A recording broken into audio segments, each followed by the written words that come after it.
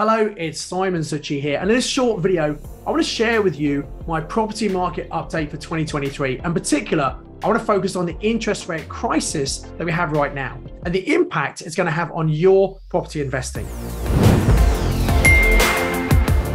So listen carefully. This is very topical information. And by the way, I really encourage you to subscribe to this YouTube channel and hit the bell icon because I often release very topical videos and you want to get that information as soon as it comes out so you can take action on it. And if you like this video, please press a like. And if you've got any questions or comments, please paste below and I'll answer as many as I possibly can.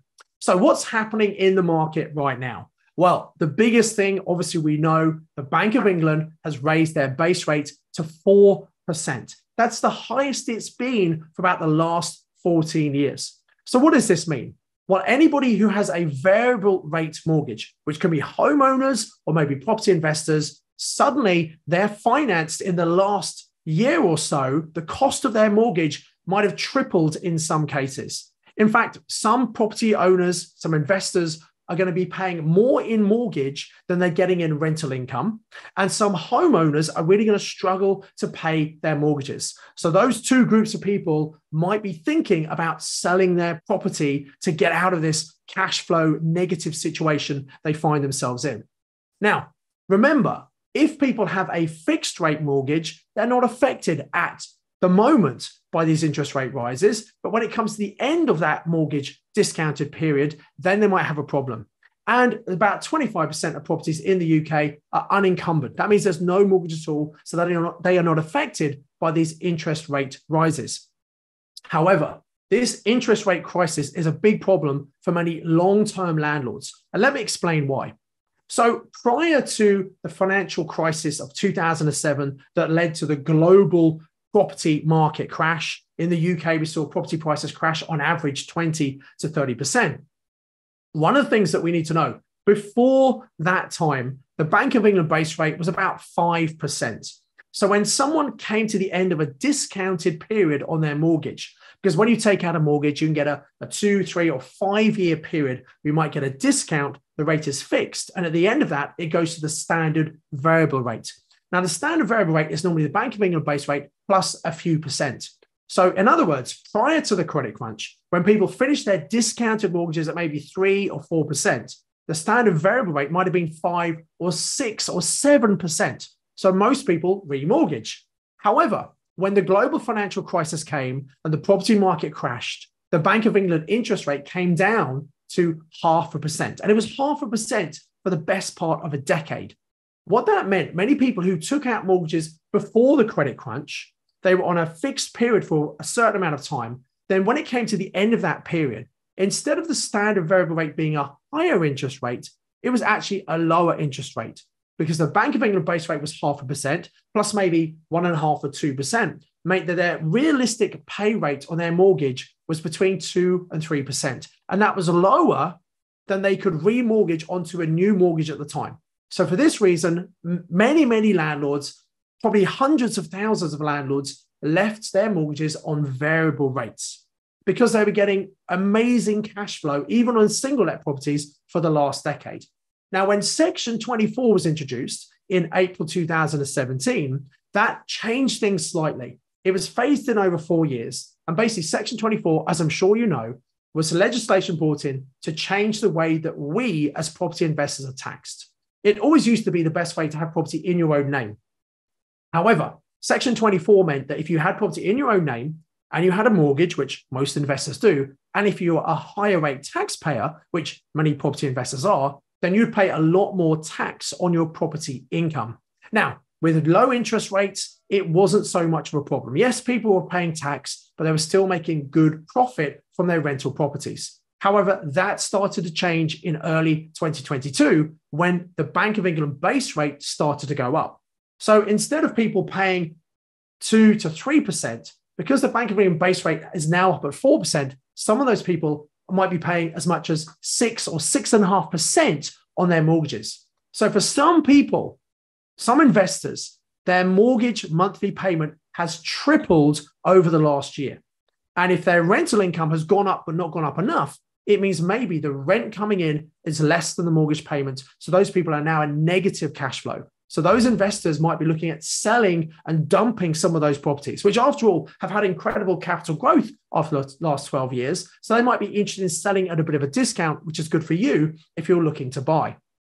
So because of the very low interest rates and the low Bank of England rate, that's why so many people have stayed on their variable mortgages. And it's those people who are going to have a problem right now. Now, if you watch my video, uh, if you listen to my Property Magic podcast, probably back in about April, May, I was warning people that interest rates looked like they were going up and people might want to think about getting some advice about should they remortgage their properties and fix those variable rates. I know many of my clients who listened and took action at the time are very pleased they did that because they secured some great rates. Some people who didn't listen or maybe weren't aware of that problem, they stayed on the variable rate, hoping that rates wouldn't go up, but now they now have gone up, and now many people are having difficulties with their properties. So we're going to see more and more landlords looking to sell up their properties in the current market, which is not a great time to sell because we've come into a buyer's market where there are more sellers than there are buyers. So that's why prices are coming down. And even though there are people who want to buy property right now, they're having challenges getting mortgages because interest rates are high, the stress test and the affordability tests are high, which means sometimes people are getting knocked back on their mortgages. So typically, we have about one in three property sales in the UK that fall through. Right now, I wouldn't be surprised if it's something like one in two sales are falling. So 50% of sales that are agreed are falling through, those properties coming back onto the market. So for the foreseeable future, I think we're going to see property prices still come down. Are we going to see a property market crash in 2023? I don't think we are, but I don't know. Nobody knows. You see, the government could react. They could do something to stimulate the market, which is exactly what they did back in 2020 when COVID hit. The Bank of England predicted in May 2020 that UK property prices would come down 16%.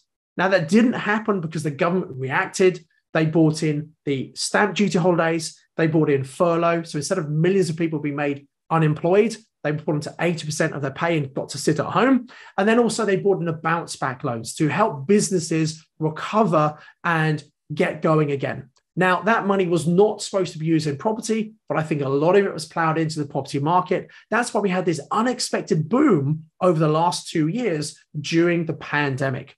But now things are different. 2023 property prices are coming down. Now, many investors are nervous, they're worried, they don't know what's happening. They're going to hold back and wait to see what happens.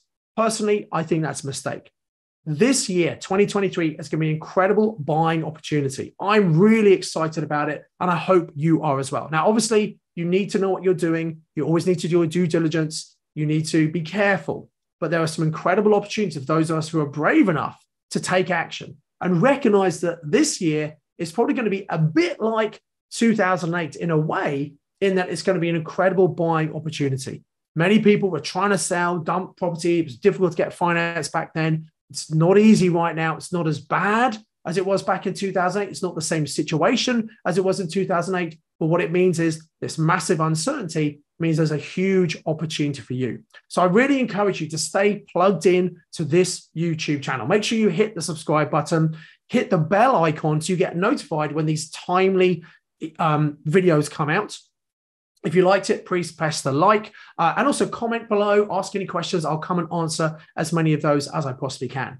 So, in summary, for this property market update for 2023, I think it's an exciting time for those of us who are ready. Most people are not going to be investing, they're going to be waiting. The general public thinks it's a bad time to invest, which means more and more sellers are going to become motivated, which means they're going to sell at a discount or they're going to be flexible and open to creative finance strategies such as purchase lease options, vendor finance, or installment contracts. So now is a really good time if you know what you're doing.